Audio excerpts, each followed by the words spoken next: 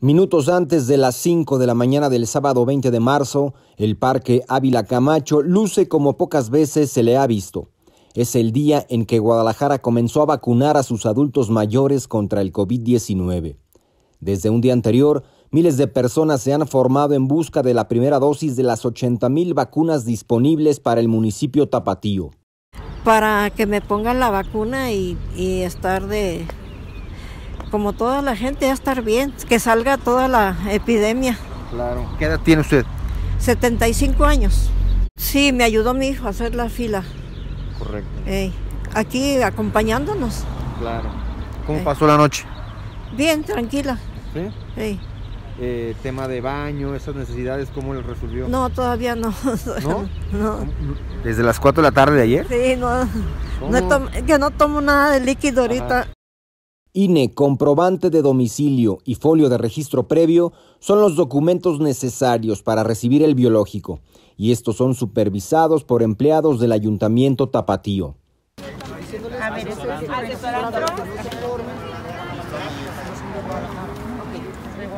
Finalmente llega el amanecer. La fila es larga, rodea todo el parque desde la avenida Ávila Camacho, pasando por Patria, avenida de la Presa, hasta tomar de nuevo la entrada hacia el parque. Mientras tanto, la solidaridad y el amor hizo que muchas personas apartaran lugar por sus familiares recibiendo ayuda durante la noche.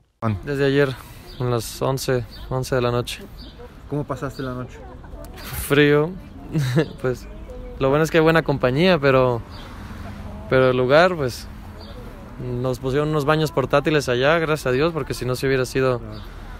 Pero pues pasó gente regalando cafés, como a las 12 de la noche, 1 de la mañana. Y fue todo. Oye, ¿a quién vienes a apartar lugar? ¿A quién vienes a acompañar? mi abuela. Mi abuela, que de hecho ya llegó. Ah, okay. Yo pasé la noche aquí con mi hermano y, y para que ella tenga su lugar. La opinión generalizada fue de desorganización, provocada por la larga espera para los adultos mayores. La mala planeación que hicieron es que deberían de haberla hecho primero de 80 en adelante y luego posteriormente de 70 a 80 y posteriormente de 60 a 70 para que haya sido mucho más cómodo para todos nosotros. Aquí estamos parados todos apilados. Sé, eso es lo malo que no saben este, hacer programación buena.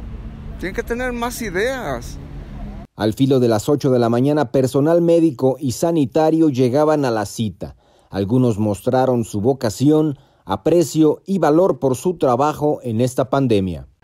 Pues la verdad es un orgullo, yo me siento muy orgullosa de que todos se sientan, las personas de la tercera edad se sientan bien con esa vacuna.